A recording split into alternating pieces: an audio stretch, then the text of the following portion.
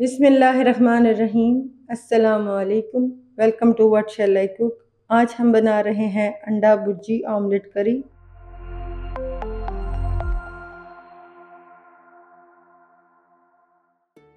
और उसके लिए ली है हमने छः अदद अंडे, दो मीडियम साइज़ की प्याज़ों का पेस्ट, वन टेबल स्पून लहसुन अदरक और दो हरी मिर्चों का पेस्ट, तीन मीडियम साइज़ के टमाटरों का paste, two tablespoon fresh cream, थोड़ा सा हरा धनिया हाफ़ कप देसी घी, हाफ़ टी स्पून नमक, वन टीस्पून सुरख मिर्च पाउडर, हाफ़ टी स्पून हल्दी पाउडर क्वार्टर टी स्पून गर्म मसाला पाउडर, वन टीस्पून सूखा धनिया पाउडर, हाफ़ टी स्पून ज़ीरा पाउडर, वन टीस्पून कसूरी मेथी, दो सब्ज़ इलायची, पाँच से छः साबुत काली मिर्चें, दो लौंग, हाफ़ टी स्पून साबुत ज़ीरा।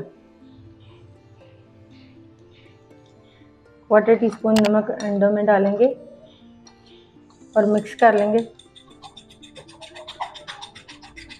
कढ़ाई में डालेंगे देसी घी फोर टेबल स्पून घी को गर्म करने के बाद इसमें डाल देंगे अंडे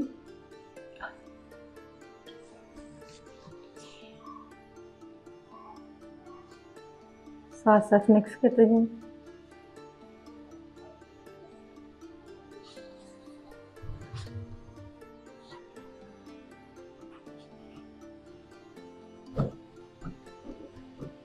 अंडे को पकाते हुए अंडे को तोड़ लेंगे।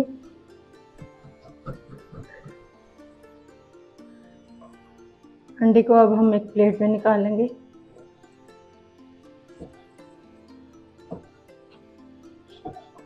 सेम कढ़ाई में डालेंगे बाकी का बचा हुआ देसी घी। साबुत मसाले डाल देंगे।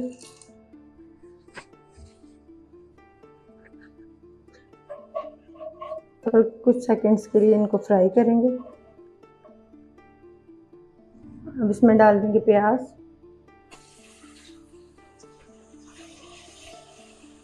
प्याज को करेंगे कलर चेंज होने तक फ्राई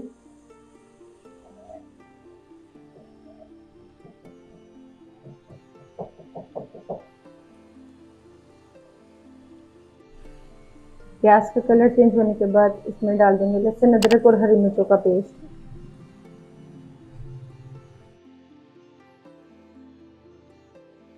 फिर से पकाएँगे एक से दो मिनट के लिए।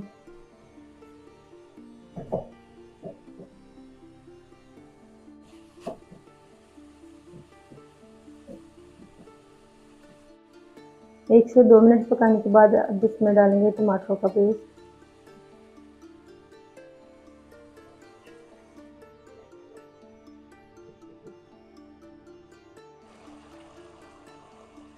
टमाटरों का पेस्ट शामिल करने के बाद इसे मज़ीद एक से दो मिनट के लिए पकाएँगे।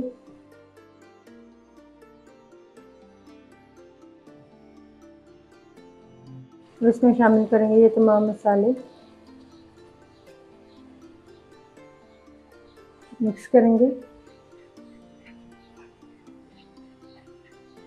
और मसाले को भूनेंगे ऑयल सेपरेट होने तक।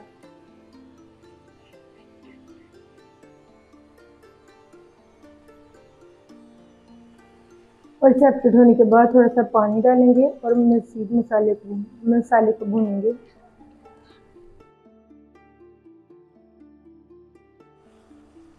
मसाले को भूनने के बाद इसका ऑयल सेपरेट हो चुका है। अब हम इसमें डालेंगे फ्रेश क्रीम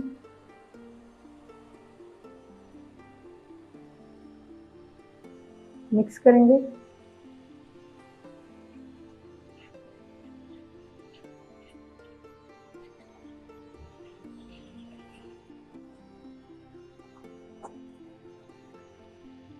ग्रेवी में डालेंगे हाफ़ कप पानी।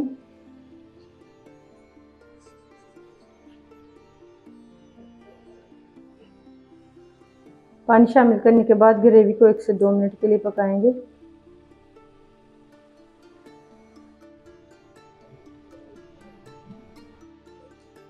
हरा धनिया डालेंगे।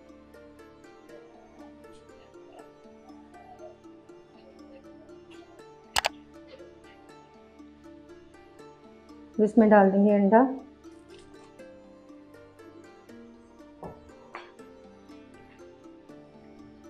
मिक्स करेंगे।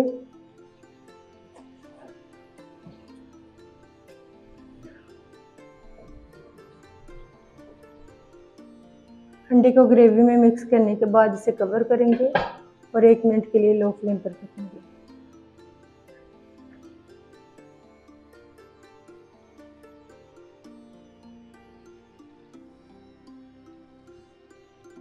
अल्हम्दुलिल्लाह, अंडा भुर्जी ऑमलेट करी तैयार है। आपको हमारी ये रेसिपी कैसी लगी? हमें कमेंट्स में ज़रूर बताइएगा।